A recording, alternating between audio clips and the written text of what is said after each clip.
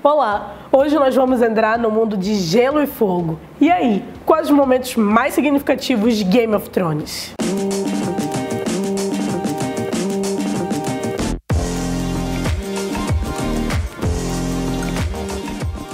Eu resolvi traçar uma linha do tempo com os momentos mais significativos para a gente entender como a história de Westeros chegou a esse ponto. Tudo começa com a morte de Jon Arryn. Ele é o pontapé inicial para o Game of Thrones, já que isso obriga o Robert Baratheon a sair de Porto Real e se deslocar até o Interfell, aonde ele convida o Ned Stark para ser a sua mão. Lá em Porto Real, a gente vê que o Ned ele é uma ótima pessoa, mas ele é um péssimo político. Onde já se viu, ele contou todas as descobertas dele para Cersei Lannister, o que levou ao evento mais significativo da primeira temporada de Game of Thrones.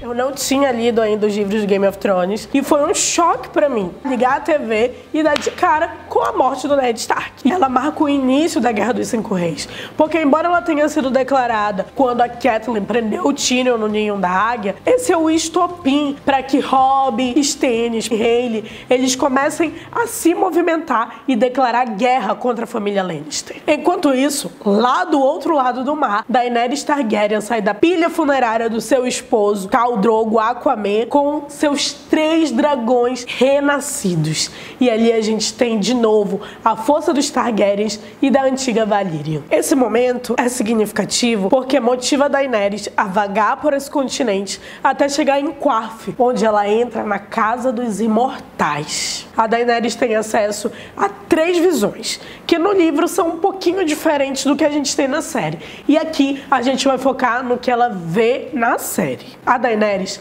entra numa sala que parece muito com a sala onde fica o Trono de Ferro. Só que essa sala está completamente destruída e a neve cai. Seria esse o indicativo de como Game of Thrones vai terminar? Outro evento significativo em Game of Thrones é a Arryn Harrenhal Lá ela vira copeira de Tyrion Lannister, nos dando momentos divertidíssimos e encontra Jaqen Hagar. Arya entra em contato com os homens sem rosto pela primeira vez e ganha uma moeda de Jaqen, de quem ouvimos Valar Morgulhs. Valar Morgulhs. Esse é o motivador para a área ir para Bravos, treinar na casa do preto e do branco e se tornar ninguém. Isso lhe dá conhecimento para ela voltar para Westeros, continuar sua vingança acabando com a casa Frey e de quebra se livrar do Mindinho. Ainda, seguindo esse percurso de porque o Westeros está assim, a gente tem Jon Snow e os Selvagens. O Jon sobreviveu muito ao norte e esse contato que ele tem com os Selvagens acontece quando ele parte na expedição para resgatar o tio Benjen. Uncle Benjen. O Jon parte na equipe com Corey Meia-Mão para observar os selvagens. E aí ele conhece a Ygritte e a gente já sabe o que acontece entre Jon e Ygritte.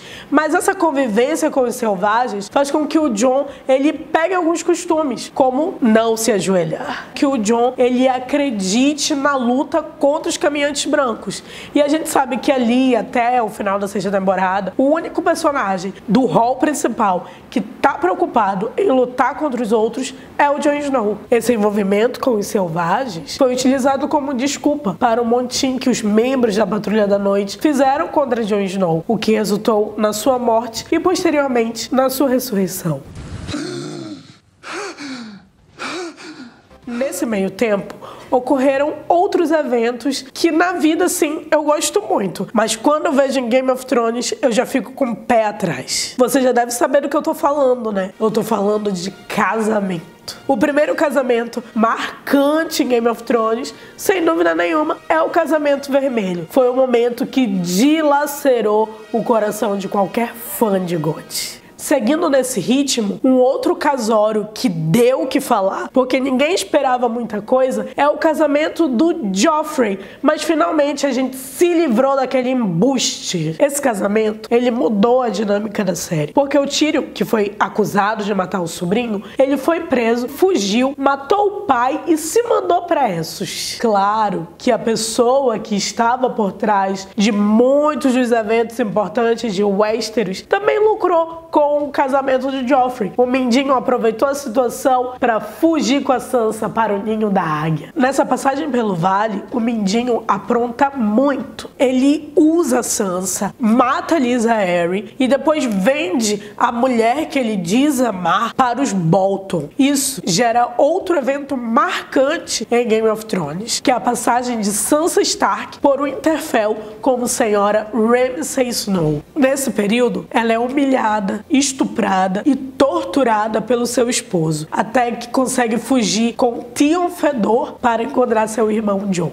Esse encontro entre John e Sansa na muralha motiva os dois a irem atrás de vingança e reconquistar o Interfell. E aí a gente tem um dos episódios que é um dos mais bonitos de Game of Thrones, que é a Batalha dos Bastardos. Enquanto isso acontece lá no norte e é importante para a gente entender como está a configuração de Winterfell na sétima temporada, lá em Porto Real, Tommen se alia à fé militante. A Cersei, que já havia sido vítima do Alto Pardal, colocou fogo no septo de Baelor e acabou com praticamente todo o elenco sulista da série.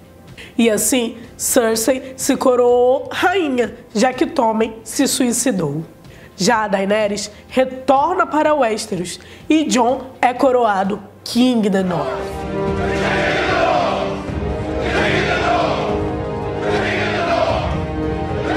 Enquanto as duas rainhas querem o trono de ferro, o rei do norte se preocupa com a batalha contra os caminhantes brancos. E o final só a oitava temporada para nos dizer. Esses momentos, eles marcam o jogo dos tronos e eles influenciam na morte de alguns personagens importantes. E esse foi o meu critério para a escolha desses momentos significativos. Mas diz aí nos comentários quais foram os seus momentos mais significativos nessa jornada de Game of Thrones. Não esquece de apertar no sininho e ativar as nossas notificações. Aqui embaixo na descrição nós temos links para vídeos e textos sobre Game of Thrones. Até o próximo vídeo. Fui!